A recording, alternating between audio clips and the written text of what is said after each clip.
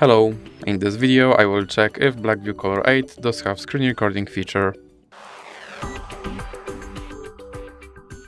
So you have to start with swiping down on your screen, then do this motion again, and right here there is screen recorder button. So that's it for this video, if you liked it, please remember to leave like and subscribe.